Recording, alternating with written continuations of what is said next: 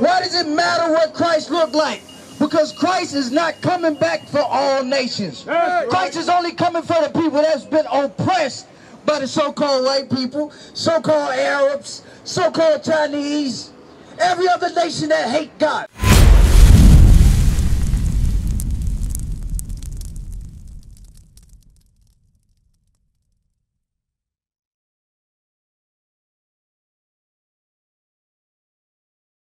Huh? Hey, boss man right here with the longhorn. What's your name? Come here, let me talk to you.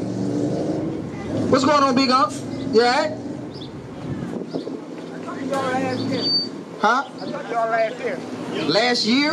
I remember. Yeah. Yeah? So what you doing with yourself now, huh? So you know that you're children of Israel, that's what telling me?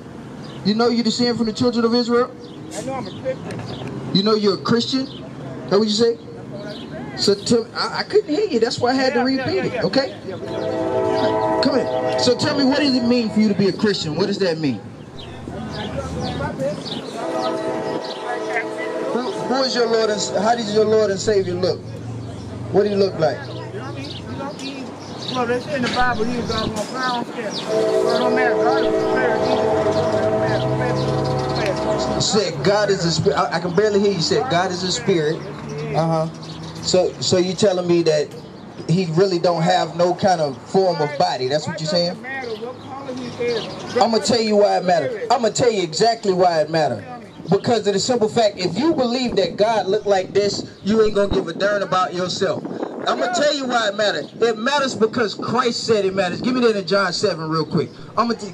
Christ Himself said, "Did you want to be in heaven? You want to be in heaven, don't you?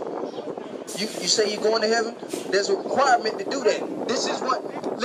What's your name, boss? Mitchell, Mitchell, a requirement to get to heaven is to believe on Christ as it says. That's a requirement to get there. That's why it matters, Mitchell. Watch this, read. John chapter 7 and verse 38. He that believeth on me. On me, this is written in red, Mitchell. So that me is who? It's Jesus. He that believe on me, what? As the scripture has said, As the scripture said, the scripture describes what he looks like, who he came for, what was his purpose. So you got to believe on him as the scripture says. Read. out of his belly shall flow rivers of living water. That's how you're going to get the understanding. That's how you're going to be able to receive the kingdom of heaven. So, what, what you saying, Mitch? I, I see it all over your brain. What's going on? What does it matter? What color does he look like? What does it just said that it ma- it's, it says it matters. You have to believe on him as the scripture says, right? So, so does this? Does it say color? It does say what it's color. Give me that Daniel 10. Watch this. No, come in, come in, Mitchell. Don't walk away, Mitchell. We're gonna read it whether you're here for bear. Read this, Daniel 10. Let's see if it says a color of what Christ looks like. What's your name, boss? What's your name? Everybody wanna walk away now. Come on, read this. Daniel chapter 10 and verse 5. How y'all doing, family? What's your name, boss? Walter? I can't hear you. Will. Okay, Will, I'm Elisha. We're reading. Mitchell had a question. He said, why does it matter what Christ looked like? And that it's, and then he said that it don't say nothing about his color. So we're going to read the Bible and see if it say anything about that. Watch this. Watch this, Will. Watch this. Daniel chapter 10 and verse 5. Then I lifted up mine eyes and looked, and behold, a certain man clothed in linen. So Daniel saying he see a man that's clothed in linen. So he got on clothes, right? I mean, you got to have a body, right? Watch this. whose loins were girded with fine gold of Uphaz. So he had on a golden belt. What's your name, Mark? Malik. Nice to meet you, Malik and Will. I'm Elijah. Watch this. Also was like the beryl, So he had on a green garment. Come on. and his face as the appearance of lightning, Because of the understanding he had. Read. and his eyes as lamps of fire, Because he drunk wine in moderation, so the whites of his eyes look red. Read. and his arms and his feet So his arms and his feet, right? Now it's describing what his skin looked like, right? like in color, Like in what? color, Like in what? color. Mitchell said it ain't no color in the Bible. But we just read his arms and his feet like in color to what? To polished brass. What color is back brass, Will? Right. So according to the scriptures, Christ must looks like what? Like us, right? But Mitchell say that it don't, it don't, it don't matter. Christ said you must believe on him as the scripture says. The scripture says that his color was like what? Light unto polished brass. Christ looked like me and you, Will. That's right. That matters. Right. You know why else it matters? Because with this image right here, Will, with this image right here, came came supremacy. It came hatred of our own people. They brought this image in a sword. Why? So that we would think less of ourselves. Right. So that when they say we three fifths of a man, we'll actually believe that. When God Himself said we're actually gods. Right. That's why it matters. It matters because the same, the same Christ that's coming back ain't coming for everybody. Right. He's coming for you, Will. He's coming for the people that's been oppressed. Give me that in Luke 1. Is Christ coming for everybody? Why does it matter what Christ looked like? Because Christ is not coming back for all nations. Christ is only coming for the people that's been oppressed by the so-called white people, so-called Arabs, so-called Chinese, every other nation that hate God. Read this. Luke chapter 1 verse 68. What's going on, boss? How you doing? Do you believe that Christ matters? Do you believe his skin matters? What he be- what he looked like matters? That's right. We ain't talking about your Bible. What your Bible say? My Bible says, love thy and love thy nature. It said what? Love thy and love thy nature. Love love thy and love thy nature. Look at you. What, Think about what is love? Oh, you saying neighbor? Okay, neighbor. This is what we're doing. That's That's what we're doing. We loving our neighbor by teaching them that Christ looks like you. That he's coming back to redeem you. That's the love of our neighbor. Our neighbor is our people. Read that, Luke 1. Luke chapter 1 and verse 68. Bring it out. Blessed be the Lord God of Israel. The Lord God of who? Of Israel. Our neighbor is Israel. Blessed be the Lord God of the so-called black, Hispanic, and Native American. Read. For he hath visited and redeemed his people. Who? His people. Who is his people? Read up again from the top. Blessed the Lord God of Israel. God's people, his people is the children of Israel. Blessed be your God. Read. For he hath visited and redeemed his people.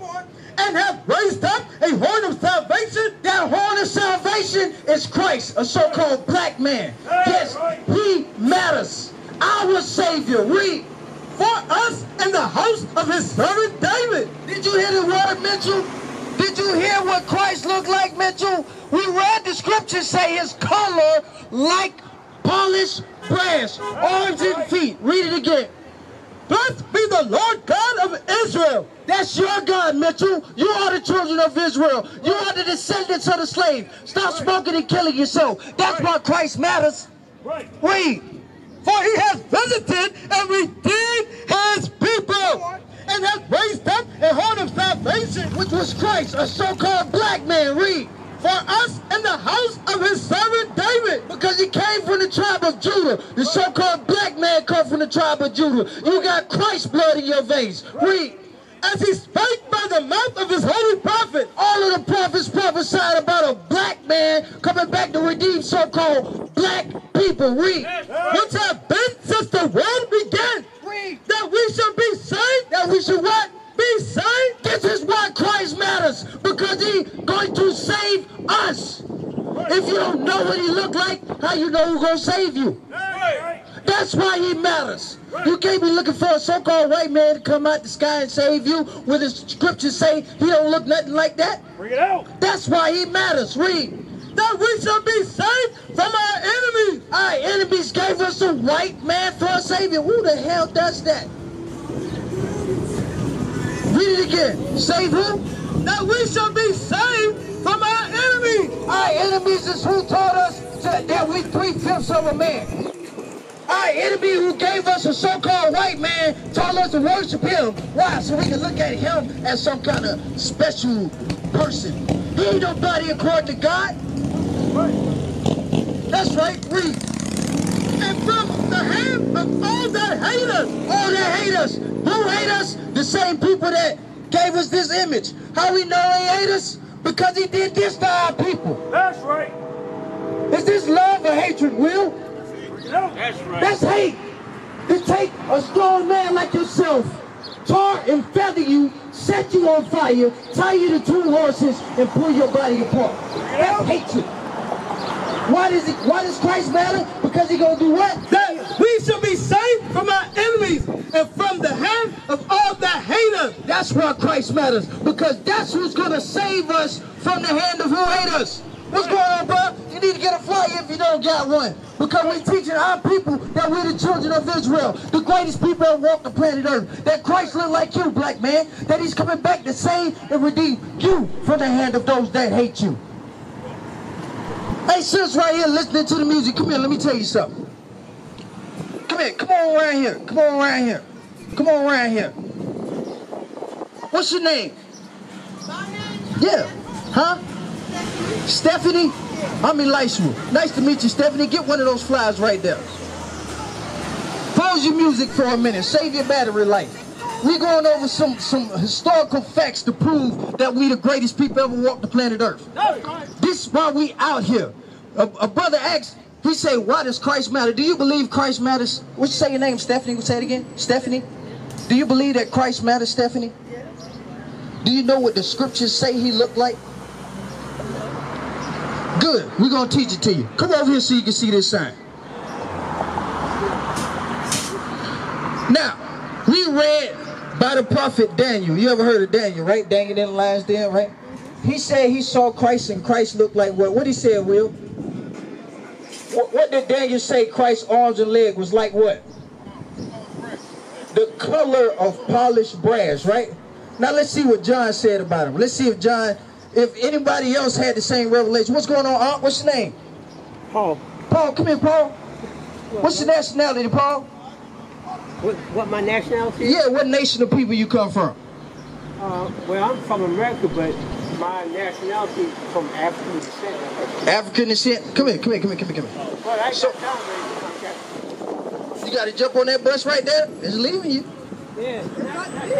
Okay, well, it, it ain't here yet. Come here, Paul. You need to learn this information. You done been living all this long time, and everybody got you believing that you're just African. God said you're greater than that, Paul. That's what we're trying to tell you. Watch this. Read this. We're going to read what Christ looked like, and then we're going to show you something else that Daniel said. Watch this. Revelation chapter 1 and verse 1. The revelation of Jesus Christ. This is the revealing of Jesus the Christ, right? Why would he have to do this? Because of the simple fact we was given a false image of what he looked like. So, so Christ himself told him to write down and bear record what he looked like. The question was asked, why does he matter? Why does his color matter? Because if I said, if, if you're looking for a bus to come, right? You gotta know what bus is coming in order for you to get on the right bus, right? That's why Christ matters. We got to know what he looks like in order to look for the right person. We're going over there right now. Read. Verse 14. His head and his hairs were white like wool. What does it mean to say that he has wool hair, Paul? Right. Like yours and mine, right? Like yours, Sister Stephanie, right?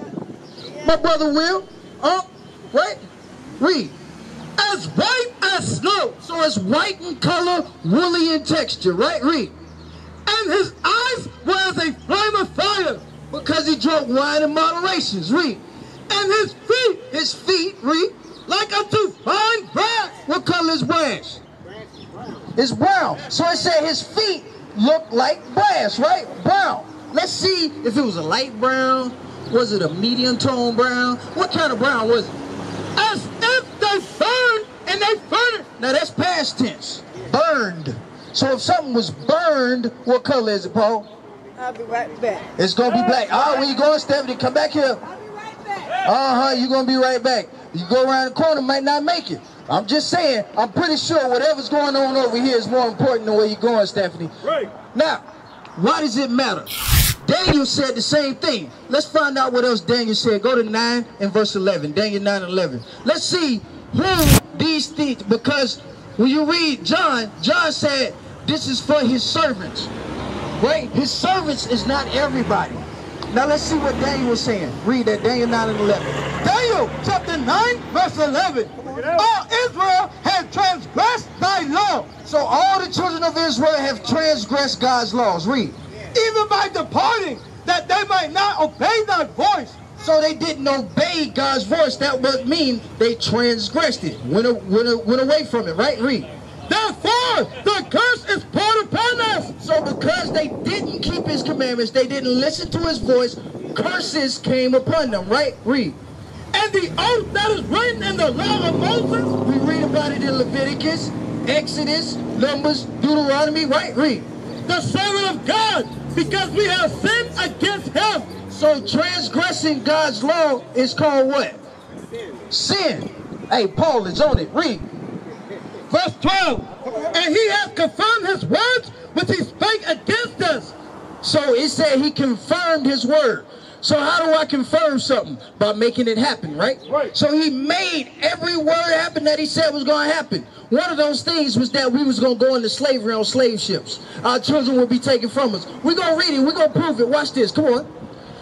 Which he spake against us and against our judges that judged us by bringing upon us a great evil. A great evil. So those curses similar to is a great evil. God said that he confirmed this great evil that happened upon his people, right? Watch this. For under the whole heaven Under the whole heaven, under this sky, what? have not been done as have been done, What's up, Aunt? Watch this. Have not been done as have been done upon Jerusalem. Hey, sisters over there walking across the street. Let me ask you a question. They don't want to hear the word of God. God, I, I tell you, Paul. So, what Dan, Daniel said was, what happened to the people of Jerusalem has happened to no other people. He said the stuff that they talking about, the great evil, is documented by the mouth in the books of Moses. So we're going to go to the books of Moses and see what happened to the people of Jerusalem. He said what happened to them ain't happened to nobody else. Right. How old are you, uh, Mr. Paul? 74. 74. That's a long time to be here, right? Yeah. So I want you to tell me, out of the 74 years that you've been living, if anybody has told you what we're about to read. So let's find out. Come, come a little closer, Mr. Paul, because I got to show you some visuals to go along with this, okay? Well, I'm, I'm, I'm in total agreement with you anyway. Yes, sir. Yeah, with, with what you were saying, I'm in total agreement to a certain extent. But, To a certain extent. but as you were saying about about the, plague, the, the, the plague that came upon us because we turned our backs on uh, on God instead Right. of following instead of following His commandments. Right. That's why we're going through what we're going through right now. Right. But it's a, and, and then it's another reason why we can constantly going through this. Because God made it that way for a sign because we wouldn't know. I asked you what your nationality was. You said African. Yeah. I guarantee. Hey, Will, what's your nationality, bro? African. Now earlier, did I ask you earlier? No, I'm thinking about when we was at the other spot, right? African. So I get, hey, bro with the white shirt, what's your nationality? He ain't gonna listen to me. Because see, He got on a white shirt and gray pants. What's your nationality? What race you come from? What race you come from? Huh? Haitian. Asian? Haitian. Haitian, yeah, right? Yeah, he's from Haiti. Bro, right here, what race you come from? I couldn't hear him. What he said. Now notice this, Mr. Paul. You and him look the same. He say Haitian, you say African. My man over here say African as well. Well, we, But we the same people, bruh. Right. Just because the world. we- eh, we the same. Not, not. Don't get me wrong. Not everybody is the same people. Right. But the so-called blacks, Hispanics, and Native Americans are the same race of people. They the same people. Now watch this. Watch this, Mr. Paul. Give me uh 2868. Watch this. Watch this, Mr. Paul. Deuteronomy chapter 28 and verse 68. And the Lord shall bring thee into Egypt again with ships. Now, he's talking to the children of Israel. He brought them out of the land of Egypt. Now he's saying they're going to go back into Egypt, but with ships. Now, Mr. Paul, how did they come out of Egypt? They walked, right? So why would they have? Why would it say they're going to go back into Egypt with ships? Because they were, for one thing, they were complaining and murmuring after they came out that it was much better for them if they had went back. So, Now, what was their status in Egypt? The children of Israel. Were they ruling? No, No, they were what? slaves. They were slaves. Yeah. The Bible explains that, right? Real quick, Exodus 20. Exodus chapter 20 and verse 2. I am the Lord thy God. Now I know that you understand this, Mr. Paul, but I'm reading it for everybody else? Read it again. I am the Lord thy God, which have brought thee out of the land of Egypt, out of the house of bondage. So Egypt is synonymous with bondage, Mr. Paul. So when he said we're gonna go back into Egypt with ship, he's saying we're going back into what? Going back into. Back into if if Egypt means bondage, we're going back into Egypt, which means bondage, right? So we're going into bondage. How? What's the transportation? With what? Ship. With ships. Now, did that happen to anybody else, Mr. Paul? Uh, it's possible. It's possible. The, what happened to us being packed up on slave ships like this? Did that happen to anybody else, Mr. Paul? No, no. No, that ain't happened to nobody else. Keep reading. But, but I, And the Lord shall bring thee into Egypt again with ships, by the way whereof I spake unto thee. The exact same way he said it was going to happen, right? That's how it happened. Read.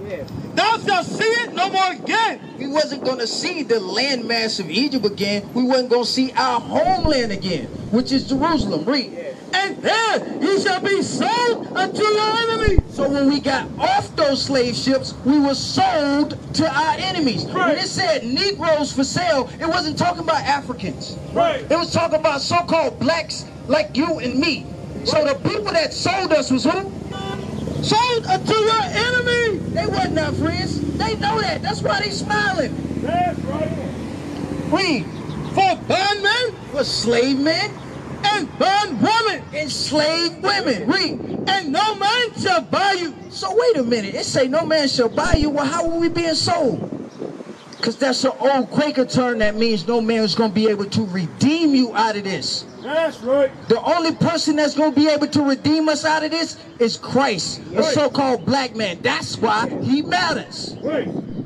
So, now, that's just one thing that happened to us, right? We came in on slave ships, we were sold. What else happened to us in slavery, Mr. Paul? Most, we were used and abused, uh, tricked and divided. You can put that down. They didn't want us to know any any knowledge like like what y'all doing.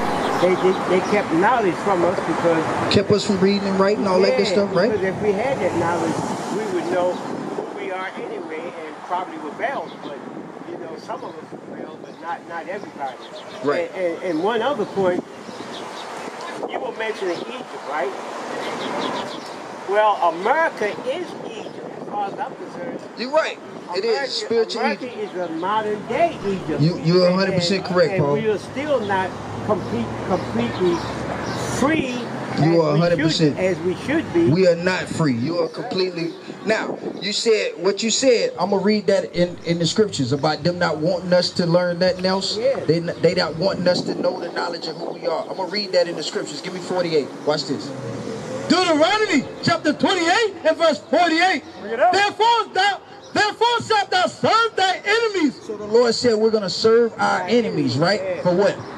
which the Lord shall send against thee in hunger For food, and in thirst water, natural resource, and in nakedness for our clothing, and what?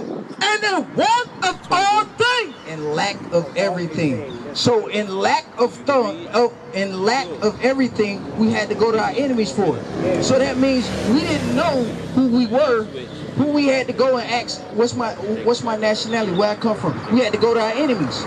So if they would have told us that we were the children of Israel, of course we would have been like, well dang, that means the rest of this Bible goes for us too. Right, That means that we're the greatest people ever walked the planet Earth. right. That means that our God is our God and none else. That means when they read in this scripture talk about servants obey your master, it's not talking about them. It's talking about when we are are are, are poor and our brother is is helping us because we're poor. That we supposed to supposed to deal with them a certain way. Not these dang on bastards that's beating the crap out of us. Right. Read. Exactly. and in thirst and the nakedness and the want of all things. And he shall put a yoke of iron upon thy neck. That same person put yokes of iron around our neck. Right? Until when? Until he have destroyed thee. Until he have completely wiped away who we are. Yes. And they have Until done- and they until the point that we're okay with calling ourselves African.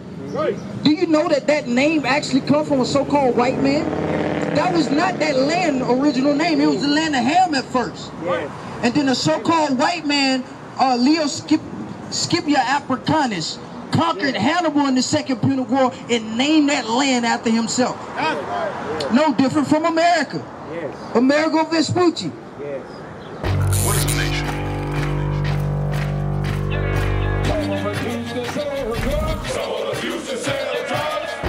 Nation is men leading by example.